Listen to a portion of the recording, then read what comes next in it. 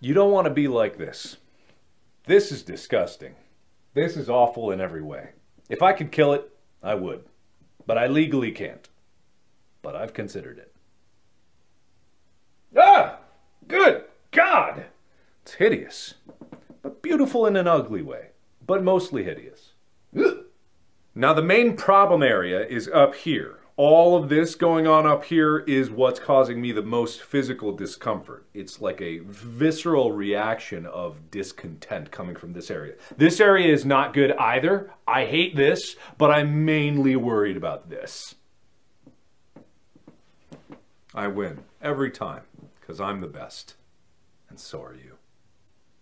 This right here is my favorite thing ever in the history of forever. I think about this every day.